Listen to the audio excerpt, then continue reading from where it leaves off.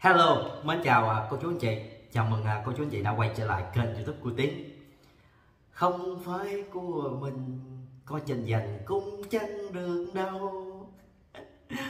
Đó, thì à, em nói đâu có sai đúng không cô chú anh chị? À, Thì à, sau khi mà cái tiểu phẩm hài của nghệ sĩ Xuân Hinh á Thì sáng nay ông sạc pin, ông đăng lên, ông tế sống Nghệ sĩ Xuân Hinh cô chú anh chị. À, Quý vị thấy rõ ràng không? Người ta nói vậy đó à, người ta đâu nói tên nói họ hay là nói ai đâu. Mà tự động mình nhột của chú anh chị. Mình nhột rồi mình lên mình chửi người ta. Mình tới người ta dơ người ta bẩn người ta câu like câu view trên người đó khúc không biết ai à. Đúng không cô chú anh chị? Đáng lẽ mình phải hỏi nè tại sao à, người ta lại nói về câu chuyện này? Đáng lẽ là người ta à, không muốn đụng chạm cũng giống như không muốn xen vào câu chuyện gia đình của cố nghệ sĩ nhưng mà tại sao người ta phải lên tiếng? Người ta phải nói người ta phải đưa vào cái tiểu phẩm. Tại vì nó quá cái sức tưởng tượng rồi. Nó đi quá cái giới hạn của một con người rồi. Đó. người ta mất mẹ, ba người ta mất cái nỗi đau thương như vậy rồi mà đối với những người mà đồng sở hữu họ sao? Họ dồn người ta vào đường cùng. Họ tấn công con gái của người đã khuất, khiến cho những cái người mà người ta muốn im lặng, người ta cũng không im lặng được nữa. Nhưng mà người ta còn một cái tôn trọng. Người ta không có xen vào câu chuyện người ta cũng không bàn tán, nhưng mà người ta muốn đưa ra một cái. Đó là cái di chúc mũi này, hoàn toàn nó không có tác dụng. Vậy mà một số người vẫn lợi dụng lúc người khác mà say xỉn để mà đi lập di chúc mũi của chú anh chị. Thì giờ đây bị không đó, bị nhiều người người ta cười hả hê của chú chị, thấy rõ ràng không? Đó, mà em nói thật sự, cái cái câu chuyện này đáng lẽ là cái cô cháu gái, hoặc là mẹ của cô cháu gái, hoặc là chú bảy, hoặc là thiếu bảy này kia bực mình này kia thì cái nó nó đúng tâm trạng hơn.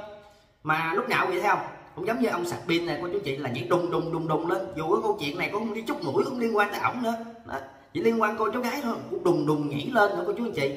Giống như là bị dẫm trúng đuôi hoặc là ổng là cái người nhân vật trong câu chuyện này hoặc là ổng là à, ừ, gì? Là người thân là ba hay là mẹ của cô cháu gái này như cô chú anh chị. Thậm chí là một ông cậu thôi mà nhảy đùng đùng lên như là giống như là mình nó như là nói mình rồi mình tức quá mình nhảy đùng đùng lên mình mình mình đem người ta lên tới sống cô chú chị đúng không? Quá đáng sợ đúng không cô chú chị à, thì à, em xin giới thiệu lên nè để cho cô chú chị coi nè. Đó nghe đi ta chỉ nói vậy thôi nè. Nè. Đây nè cô chú nè. Đó tác phẩm hài nha. À,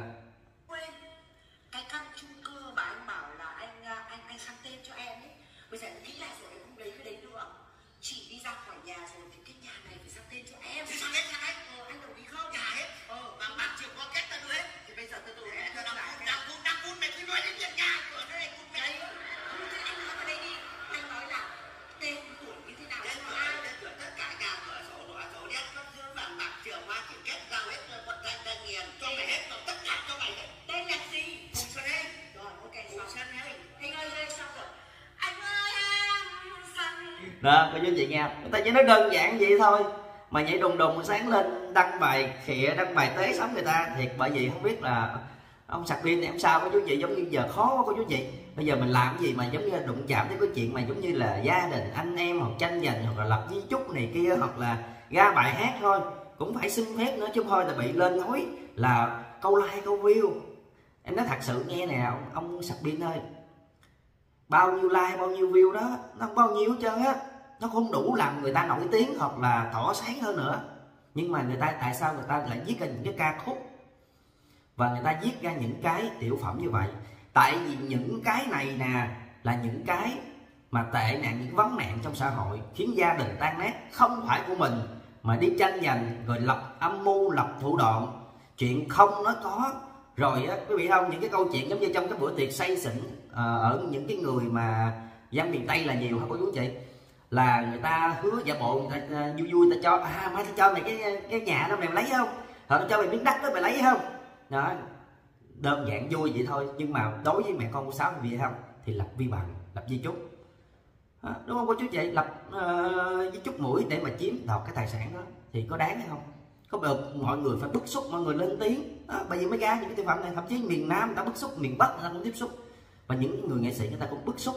Nên ta mới đem vào đó vậy mà cũng lên tới sống người ta nữa cũng lên nói này nói nọ nữa. Đó, bây giờ á, nhục mặt chưa? Ra ra đã từ miền ra ra hài miền bắc luôn rồi đó, đó. nếu người ta câu view đi không lẽ à, ai cũng câu view không lẽ ai cũng lên tiếng việc này cũng là câu view câu like? Đúng không cô chú anh chị? Đó. bởi vì gieo nhân nào thì gặp quả đó em nghe nói thì ờ, có thể nào là lập vi bằng kiện nghệ sĩ xưng hình là nhật này căng nha cô chú anh chị ha. Này kiện nghe tới ngoài bắc luôn. Căng à, lập vi bằng để kiện uh, xưng hình cho cô chú chị. Đó.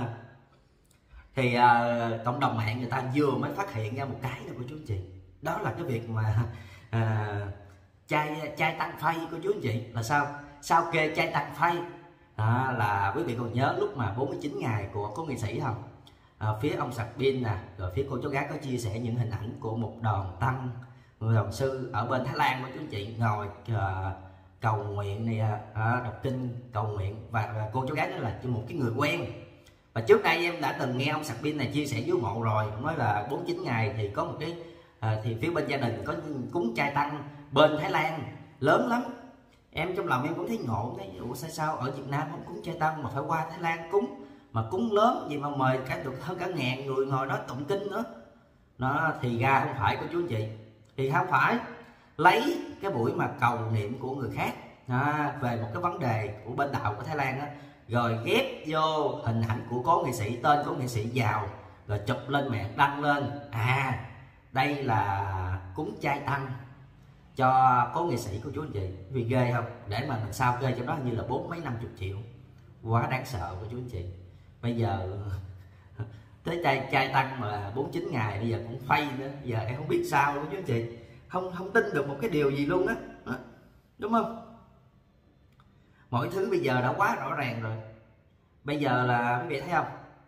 Thì à, mẹ con cô sáu quý vị không? Cứ à, gần hết ngày à, chuẩn bị tòa xét xử là đầu bổ sung cái này xong bổ sung cái kia làm loạn lên sao? Để mà câu kéo kéo dài cái thời gian cái phiên tòa này sẽ chậm diễn ra để sao? Họ còn ăn tiền được họ còn lợi dụng được một số người. Chứ bây giờ sự việc này đổ vỡ rồi thì làm sao mà lợi dụng làm sao mà ăn tiền được? Nó có chú anh chị nên bây giờ họ phải tận dụng. Dù biết là thua đó trong cái buổi họp báo chính cô cháu gái này từng nói đó khả năng thắng, thắng rất là thấp. Quý vị đi khả năng thắng rất là thấp. Với uh, mẹ cô cháu gái này kiện chứ vì tức giận. Em nói ví dụ như giả sử tức giận cái thời điểm đó thì tức giận thời gian nào đó thôi. Không lẽ tức giận từ mấy tháng trước tới mười mấy tháng tới mười tháng sau luôn sao? Đúng không? Cái này phải có một âm mưu của chú chị có một âm mưu. Đó là muốn gài con người ta ủ tờ, xong nó ở ngoài sẽ chiếm đoạt hết tất cả những cái tài sản. Đây âm mưu rõ ràng biết không? Miệng thì nói rằng em không có liên quan tới câu chuyện này, em cũng khuyên mẹ em mà vị thấy không? Lên nói vị thấy không? Lên nói giọng dạc lắm, nên nói rằng ở đây chuyện gia đình của tôi, mọi người biết cái gì? Mà mọi người lên nói, ủa, cái gì gia đình của tôi đây, ở đâu ra vậy? Cái này là gia đình của chú U Linh với Hồng Loan. Còn mình chỉ là bà con họ hàng một đứa cháu thôi tự nhiên xen vô gia đình của tôi. Mà biết không? Gia đình của tôi mà cả thằng mỹ với cả bùm bum có được xem là gia đình gia đình chỉ có tự nhiên ba của người ta mà bắt hình làm giống như gia đình của mình. Còn còn gia đình của mình á, thì không cho ai hưởng hết. Tôi chứ chị thấy không? Thấy quá đáng sợ không? Tự nhiên gia đình của người ta, tự nhiên cái bây giờ bắt hình là gia đình của mình. Nên không cho ai xen vào, chỉ có mình là lên mạng để mà mình nói người khác được thôi, còn người khác không nói được của chú chị. Tại sao mà nói là à, dồn gia đình vào đường cùng. Ủa? Tự nhiên cái mở miệng ra dồn gia đình vào đường cùng tôi hỏi nè cái câu chuyện này là ai là cái người khởi xướng đem lên không gian mạng? Cái thứ nhất ai là người xác giác những cái lá đơn đi kiện? Ai là người giác những lá đơn đi kiện? Tới thời điểm này ai là người bị kiện? Ai phải là người mà lên công an xuống công an? Mấy tháng trời ai là người sắp sửa? Có thể là uh, nếu mà không cẩn thận thì có phải dính vào bẫy là phải ủ tờ không? Ai là người bị phải không lo không? Ủa, tự nhiên bây giờ cái tự nhiên quý vị thấy đã đổi trắng thanh đen không? Mình xác đơn đi kiện, mình đem câu chuyện này lên truyền thông, mình nói để mình vu khống, để mình tranh giành tài sản vậy trách người ta là tại sao đem câu chuyện này lên mạng rồi xong người ta lại bàn tán, sao người ta lại nói với gia đình mình? Quý vị thấy lạ không? Mà thứ nhất là đây không phải là gia đình của cô chú gái nữa. Chỉ ở ké có hai năm thôi mà thành gia đình mình luôn rồi, cô chú anh chị. Đúng là đầu nhà cho ở nhờ quá đáng sợ, đúng không? Quá quá ghê gớm. Mà bây giờ lên còn chổng chạc nữa quý vị không? Rồi quý vị thấy đó ngày hôm qua giờ đi hát ở đâu đâu ta? Ở ngoài á. Bây giờ cả chùa người ta cũng không có cho vô hát nữa. Ở chùa người ta cũng cho vô hát nữa. Quý vị thấy đi. À, cái bữa mà à, năm ngoái á, à, năm 2023 vừa rồi tháng 10 tháng 9 gì đó có đi hát ở chùa đó cô chú anh chị. Người ta thấy thương người ta thấy tội nghiệp. Người ta cho vô chùa hát. Người ta không để hình poster rồi người ta sợ bị uh, tẩy chay bị uh, này kia. Đó, cuối cùng cũng đem cái poster về và tự động dán cái hình mình lên và tự động khoe tới cái người bầu xô đó. Người ta phải bị ảnh hưởng. Xong rồi làm hại biết bao nhiêu người không liên quan tới drama này. Nhưng mà quý vị không không có một lời nào xin lỗi. Không có một lời nào gọi là cảm thấy mình tội lỗi. Em nói thiệt, một người mà bị tai tiếng mình giả sử như mình làm ảnh hưởng ta, mình cũng thấy ngại chứ. Đúng không? Còn những người này biết không? Làm ảnh hưởng xong là phủi đích đi à, cô chú anh chị. Đó. mà tối ngày đem nhớ cậu online không à? Em nói thiệt, bây giờ quý vị nhà mình có thờ, đúng không? Có ông bà, có cha mẹ. Giả sử như mình mà thương, mình yêu, mình quý người đó quý vị làm gì? Mình thờ, mình cúng, mình chăm lo nhang đèn cho cái người đó. Không có lý do gì trơn á. Đó là thương, còn tiền bạc là cái chuyện mà ở bên ngoài. Nó giống như hồng loan bây giờ sự như như quý vị thấy đó, lúc đầu mà khi mà xảy ra cái drama này họ dọn sạch sẽ trong cái nhà đi. Họ chỉ để lại cái bàn thờ thôi đó. Thì hồng loan vẫn cúng cơm ngày ba bữa vẫn lo chu toàn bàn thờ vẫn lau dọn sạch sẽ dẫn xuống mộ hàng tuần đó, để mà lau dọn dọn dẹp ở dưới mộ cho nó sạch sẽ. Cái đó gọi là cái cái tâm của cái người mà người ta thương yêu cái người mà yêu quý của mình vừa mắt á. Còn quý vị thấy mẹ con sáu từ bữa giờ làm được gì? Cúng 49 ngày 89 triệu được được con gà. Con gà 89 triệu của chú chị mà bị không thấy chưa? Cái đó đâu phải là em tự bịa em nói hoặc là mọi người tự bịa đâu. Quý vị nhìn các bạn cái bàn cúng đi. À, cúng trăm ngày đó quý vị nhìn nhìn cái bàn cúng đi quý vị thấy đi. Nếu mà là người nhà quý vị á quý vị có cúng gì không? Một con gà thì lật ngửa lật qua lật lại bông á thì gọi là dạng như mua sơ xài. Còn soi thì giống như quạnh một cục vậy đó. Rồi trái cây được mấy trái. Rồi cúng uh, trứng rồi muối rồi uh, thịt luộc giống như cúng cô hồn của chú vậy. Quý vị nhìn đi, nếu mà mình thương mình làm gì được không? Không làm gì được được. Không bao giờ mà làm gì được hết. Chỉ có, nhưng mà có, chỉ có cô sáu được. Cô chú anh chị thấy không Đó. có ai mà thương anh mình, nhớ anh mình mà nó gia đình giống hay gia đình một thịt thích, mà mỗi lần á, cúng kiến phải chạy qua nhà cái cô kim hôn. Trời ơi! Quý vị thấy đi, cô kim hôn cái đó là vừa không phải là bà con cũng không phải là họ hàng không phải là em là cháu hay là người thân không phải là vợ nữa. Mà mình nhát cái di ảnh của bệnh để mà mình làm đám bên bệnh á. Hỏi sao người người mắc người ta về được? Người sao người mắc người ta thì ờ, người ta phù hộ cho được? Tự nhiên cái gia tự nhiên cái ờ, dòng họ dòng tộc của người ta cái củ quyền của người ta tự nhiên cái giác à, chú năm qua bệnh cúng. Hỏi sao củ quyền người ta cho vào được? Ủa mày đâu phải là vợ mày đâu phải là con là cháu gì có liên quan với ông này đâu. Chỉ là một cái người trợ lý rồi bây giờ đi theo làm giờ hết thì thôi về. À, hết thì thôi hết nhiệm vụ rồi thôi. À, ông bắt rồi thôi. À, còn ba còn mẹ nè. Tại sao ba mẹ không thương không ấy đi? Tại sao bàn thờ ông bà cha mẹ tổ tiên nó không làm lớn không làm bự? Rồi không không gì đi.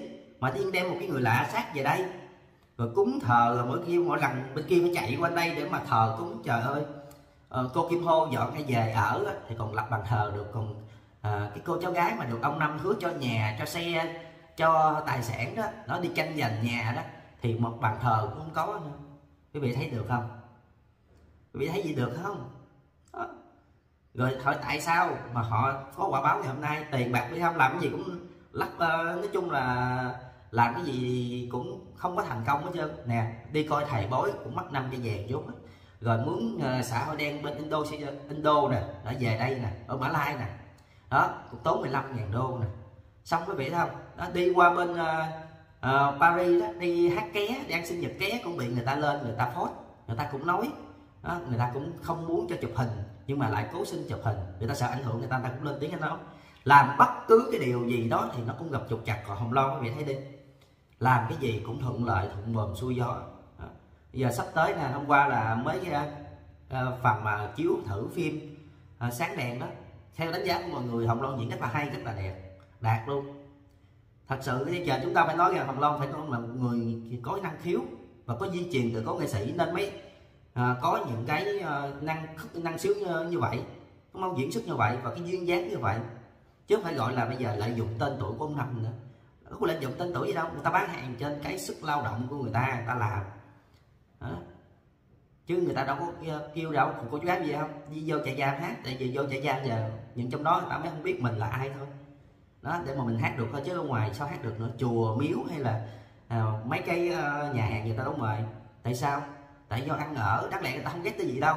Nhưng mà vì theo làm ảnh hưởng tới người khác. Mà không có một phần trách nhiệm không có một lời giải thích cũng không cười giống như nó phủi. Móng cho đi. Còn quý vị thấy đi bác uống bò quý vị thấy đi có cái tiệm bún bò nào mà tháng nghỉ hai ngày không có chú anh chị? Mùng 1 với 15 trời ơi, bún bò, người ta bán, người ta kinh doanh người ta cầu mong cái ngày nào cũng bán để người ta có tiền, người ta trang trải cuộc sống. Chứ bún bò bán có bị không? Là thứ nhất là muốn nghỉ là nghỉ nè, hơn nghỉ ngày một mười lăm. Cái thứ hai bị không? À, là quý vị thấy rằng á, là làm việc làm kêu gọi phát từ thiện á. Chứ là có bao giờ mà tự nhiên kêu gọi phát từ thiện à giả sử hôm nay phát ở chỗ đó một ngàn phần chừng mai phát ở chỗ kia một ngàn phần hay là gì đó. Chứ ai mà dụ mà ở nhà tôi à, về phát từ thiện tại nhà lấy tiền của mạnh thường quân để phát từ thiện tại nhà ủa ai kiểm soát được? Ngày bán trăm tô giờ cô nói là cô bán có ba chục tô còn bảy chục tô là cô phát từ thiện ở nhà ai kiểm soát được? Đúng không cô chú anh chị? Làm mọi thứ nó không có rõ ràng và nó không có minh bạch con người đã không rõ ràng, không minh bạch rồi thì làm sao người ta tin? Mà có cái mà để cho người ta tin, mà có thể mà để cho người ta mà lấy được một chút niềm tin đó là sao kê, mà đơn giản nhất thì không làm. Tôi biết không? Tại sao không làm? Bây giờ trả lời đi. Tại sao bây giờ khoe cái vụ mà trai tăng ở bên thái lan bây giờ ta nói là không phải là ông, làm trai tăng trong võ ngoan mình lợi dụng nó lên giải thích đi. Đó. giải thích đi, tại sao làm, tại sao lại gắn tên họ ông ông năm vô cái chuyện mà cha tăng đó rồi giải thích đi. Đó. Thì từ từ mọi chuyện nó sẽ lộ ra hết rồi cô chú anh chị. Đó. Thì đây là một số những cái thông tin mà em muốn chia sẻ đến cho cô chú anh chị ha. Thì uh, cuối video xin giới thiệu thì đây là bánh đậu phộng của chú anh chị ha. Đợt này em nhập hơi nhiều mà em tưởng đâu là cuối năm á là nó sẽ giao tới ngày 28 hay 9 gì nó mới hết. Ở đâu là bên giao hàng người ta chỉ nhận hai ba ngày này là người ta đảm bảo là giao trước tết thôi. Còn giả sử như mà từ ngày 26 tháng 7 trở đi á thì phải qua năm mới nhận được nên cô chú chị nào mua ủng hộ em em còn mấy chục phần phần ba mấy ba mấy bịch nè ờ, cô chú chị nào mua ủng hộ giúp em với để bán trước tết nghỉ tết cô chú chị ơi. Chứ để à, mấy ngày nữa là ờ, phải để qua tết mới mới giao được. Đó giả sử cô chú chị muốn mua thì có thể đặt số điện thoại cho à, số điện thoại phía bên dưới màn hình đó là 0879 262 482 cô chú chị. Hoặc là liên hệ qua Zalo là 0879 262 để được liên hệ. Một bịch như vậy là 120 ngàn. Bánh là bánh đậu phộng như cô chú chị ha. Bánh đậu phộng hình nón lá nha cô chú chị ha. Trong đây có đậu phộng có sốt và có bánh ha. Bánh này là bánh mới mới nhập về luôn nha cô chú chị ha chứ không phải bánh cũ đâu. Và thời gian bảo quản rất là lâu ha. Đó thì cô chú chị nào mua thì có thể liên hệ số điện thoại cho em nha. Thì uh, ngoài ra thì uh, đây là bán dùng sư cô ha cô chú chị. Thì một đây là uh, kho quẹt chai còn đây là muối chai cô chú chị ha. Một hộp như một hũ như vậy là 35 ngàn 35 ngàn một hũ nha. Nhưng mà cô chú chị mà mua chung với đơn hàng bánh á, thì em chỉ tính 30 ngàn một hũ như vậy thôi. Này rất là ngon cô chú chị em ăn thử rồi. À, cô chú chị nào ăn chay hay gì á hay là mình mua về mình để như ngày gặp mình ăn chay cũng được ha. Đây là muối muối chay nha cô chú chị ha. Còn đây là kho quẹt chay. Đó thì uh, bán chung với bánh đó là một à, hũ như vậy 30 ngàn nha cô chú chị ha. Thì à, cô chú chị nào mua thì có thể liên hệ số điện thoại phía bên dưới màn hình để mà được đặt nha cô chú chị ha. Thì đặt sớm sớm để em vào trước tết nữa. Đó thì cảm ơn cô chú chị rất là nhiều và xin chào hẹn gặp lại cô chú chị trong những video tiếp theo nha. Bye bye. Bye bye.